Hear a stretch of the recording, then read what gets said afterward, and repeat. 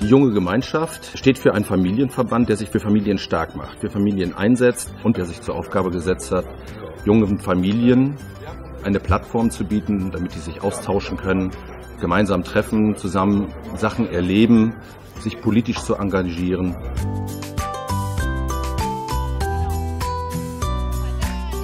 Alles hält zusammen und man trifft viele alte Freunde. Sie gibt Sicherheit, sie gibt Geborgenheit, auch ein Stück weit Orientierung. In diesem Familienverband sind Familien in Kreisen, Familienkreisen organisiert. Das heißt, so fünf bis sieben Familien sind ein Kreis und die unternehmen monatlich etwas. Wir sind heute hier bei der Familie Campos und wir bauen mit den Kindern ein Insektenhaus. Das ist entstanden auf der Jahresplanung, die Idee. Wir sind sieben Familien und wir treffen uns regelmäßig einmal im Monat.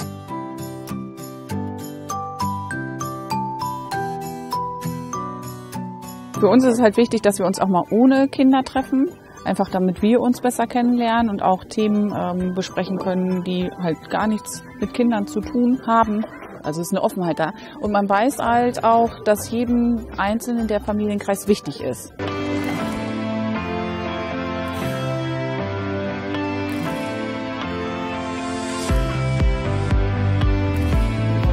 Und uns ist immer wichtig, dass hier die gemeinsame, das gemeinsame Tun zwischen den Familien im Vordergrund steht. Die Kinder sind gut zufrieden. Das ist für Eltern immer das Schönste eigentlich, wenn die Kinder gut zufrieden sind. Mir gefällt es auch sehr gut.